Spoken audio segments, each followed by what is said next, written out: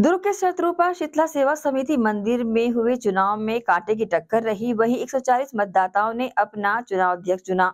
दुर्ग के शत्रुपा शीतला सेवा समिति मंदिर सिविल लाइन कसारी डी के चार वर्षीय कार्यकाल वाले प्रतिष्ठापूर्ण चुनाव में अध्यक्ष, उपाध्यक्ष, सचिव व कोषाध्यक्ष पद के लिए चुनाव संपन्न कराया गया। चुनाव में 155 मतदाताओं ने हिस्सा लिया था।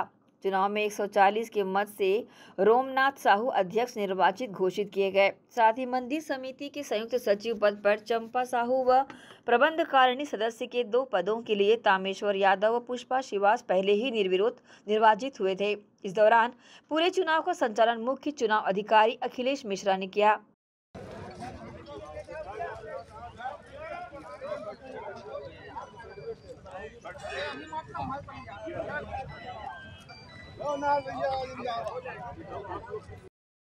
बस ऐसे खड़े रहोगे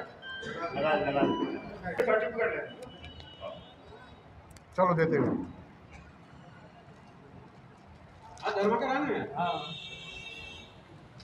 हाँ ठीक है।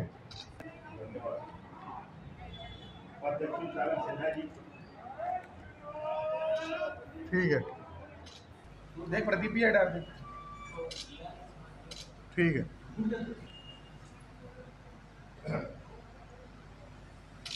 दिन भर चले इस चुनाव में अन्य चुनाव की तरह जोश नज़र आया। वहीं दो खेमों में अलग अलग बैठे मंदिर समिति के पदाधिकारियों ने अपने पक्ष में वोट करने मतदाताओं से अपील करते नज़र आए। इस दौरान कुल 155 मतदाता वाले चुनाव में 140 मतदाताओं द्वारा अपने मताधिकार का उपयोग किया गया। छह चक्र की मतगणना में प्रत्याशियों के बीच कांटे की टक्कर रही, जिसमें अध्यक्ष पद पर प्रत्याशी रोमनाथ साहू ने सीधे मुकाबले में संजय सिंह को चार मतों से पराजित किया। रोमनाथ को 70 और संजय को 66 मत मिले, जिसके बाद चुनाव अधिकारी द्वारा सभी जीते गए प्रत्याशियों को प्रमाण पत्र भी वितरित किया गया। शत्रुपा शीतला मंदिर सेवा समिति के चुनाव हुए हैं। उसमें सुबह 11 बजे से अभी 3 बजे तक मतदान किया गया है। कुल मतदान में 155 मतदाता थे, जिसमें से 140 मतदाताओं ने अपने मताधिकार का प्रयोग किया है। अभी चार बजे से उसकी गिनती होगी।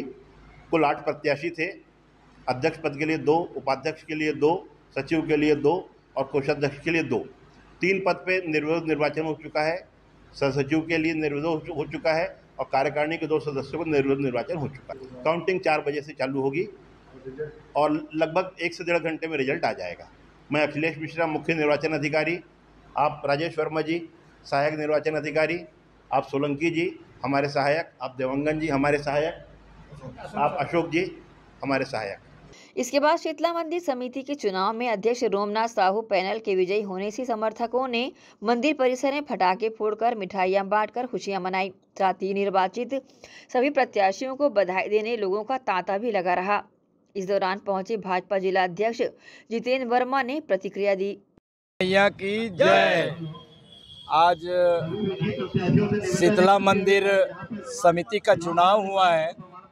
इस चुनाव में इस संस्था के सदस्य बड़े भैया आदरणीय रोमनाथ साहू जी और इसके पूरा जो पैनल है, निर्वाचित होके आए हैं। मैं इन सभी को शुभकामनाएँ देता हूँ और माता रानी से मंगल कामना करता हूँ कि इन लोग माता रानी के जो रीति नीति है और इस मंदिर का जो परंपरा है, धर्म स्थलियों का एक सिद्धांत होता है, उस सिद्धांत का पालन करते हुए माँ के सेवा में रात दिन एक करेंगे। यही मेरी शुभकामना है माता रानी से प्रार्थना है। बहरहाल, वहीं जीत के बाद प्रत्याशियों ने अपनी जीत और मंदिर समिति के कार्यों को लेकर अपनी प्रतिक्रिया दी। नहीं मतलब मंदिर समिति में हमारी पैनल जीती पूरी और जीत सच्चाई की ओर हुई है, सच्चाई की जीत हुई है है ना? आगे मंदिर का अच्छा मतलब निर्माण हो मतलब अच्छा से मतलब ये किया जाएगा, है ना?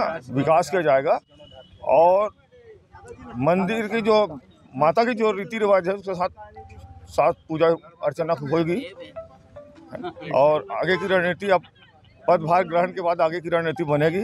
अभी हम लोग ज़्यादा कुछ नहीं कहेंगे ग्यारह फरवरी दिन रविवार को माँ शत्रुपा शीतला मंदिर में चुनाव का प्रक्रिया प्रारंभ हुआ और समस्त संरक्षक सदस्य एवं आजीवन सदस्यों की मार्गदर्शन में यह चुनाव संपन्न हुआ और जिन्हें जिन्हें, जिसमें वरिष्ठ सदस्यों के द्वारा हम पैनल को सस्वीकार सस्वीकार किए और हम लोग आगामी सत्र में जो भी रुका हुआ काम है विकास की गति को हम लोग पूरा करने के लिए तैयार हैं और हमारे साथ हमारे कार्यकारिणी जो निर्विरोध आए हैं, उनको भी मैं बधाई दूँगा।